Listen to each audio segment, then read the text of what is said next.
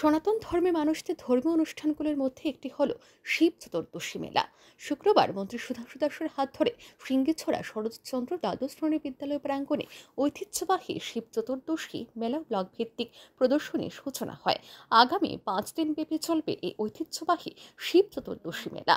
এবছর এই ঐতিহাসিক মেলা পঁচাত্তরতম বছরে পা দিয়েছে।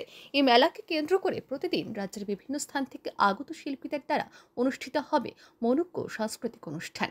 এই মেলাকে ঘিরে রাজ্যের বিভিন্ন জায়গা থেকে দোকানিরা পসরা সাজিয়ে বসেছেন। এ মেলায় প্রাণী সম্পদ বিকাশ দপ্তর, মৎস্য দপ্তর, বন দপ্তর এবং খোয়াই জেলার একাধিক ব্লক ও স্বসহায়ক দলগুলিও দ্বারা প্রদর্শনীর আয়োজন করা হয়েছে। এই স্টলগুলির মধ্য দিয়ে বিভিন্ন শিক্ষণীয় বিষয় তুলে ধরা হয়েছে।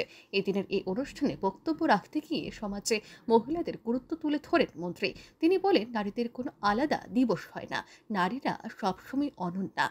একটি পাখি যেমন একটা ডানা নিয়ে উঠতে পারে না, ঠিক তেমনই একটি সমাজও নারী ছাড়া উন্নত হতে পারে না। তাই এই সমাজ এবং দেশের উন্নয়নের জন্য মহিলাদের উন্নয়ন প্রয়োজন এবং এই লক্ষ্যমাত্রা নিয়ে কাজ করছে বিজেপি সরকার। পাশাপাশি এদিন বক্তব্য রাখতে গিয়ে আজ থেকে এক বছর পূর্বে মন্ত্রী হিসেবে শপথ গ্রহণ করার সেই স্মৃতিও সকলের সামনে তুলে ধরেন তিনি। স্বামী বিবেকানন্দজি যেটা বলেছিলেন যে পাখি যেমন এক ডানাতে উঠতে পারে না ঠিক তেমনি একটা দেশ মহিলাকে বাদ দিয়ে উন্নত হতে পারে না। তাই এই দেশের উন্নতির জন্য মহিলাদের উন্নত হওয়া অত্যন্ত প্রয়োজন। এই লক্ষ্যমাত্রা নিয়ে আমাদের সরকারও কাজ করছে। আজকের দিন যেমন আমাদের কাছে ধর্মীয় মতে অনেকটাই গুরুত্বপূর্ণ, শিব চতুর্দশী।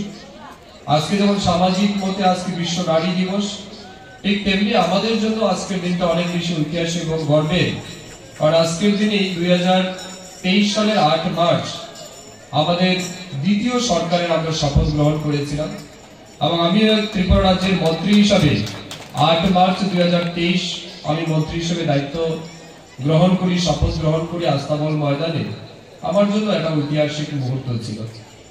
তো আমরা গুটি গুটি পায়ে এক বছর পূর্ণ করেছি।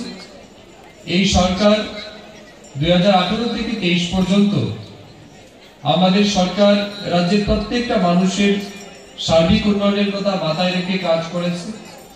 তেইশ থেকে আজ পর্যন্ত চব্বিশ আমাদের রাজ্যের মাননীয় মুখ্যমন্ত্রী অধ্যাপক ডক্টর মানিক সাহাজির নেতৃত্বে আমরা এই এক বছর পূর্ণ করেছি। অনেক সফলতার সহিত এদিনের এই অনুষ্ঠানে মন্ত্রীর সাথে উপস্থিত ছিলেন বিধায়ক পিনাকি দাস চৌধুরী, জেলা পরিষদের সভাধিপতি জয়দেব দেববর্মা জেলা পরিষদের সদস্য সুব্রত মজুমদার, পঞ্চায়েত সমিতির ভাইস চেয়ারপারসন তাপস কান্তি দাস, বিশিষ্ট সমাজসেবী প্রণব বিশ্বাস সহ অন্যান্য অতিথিরা। Bureau report, R E News.